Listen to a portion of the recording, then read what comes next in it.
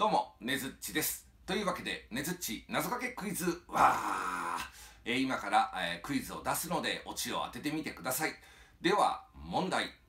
感想とかけまして、あれ、機嫌悪いでしょ？と解きます。その心は、どちらもやっぱり、ほにゃらら。さあ、どうでしょうかね。乾燥っていうのは乾いてる。空気がね、乾いてるっていう方の乾燥ですよ。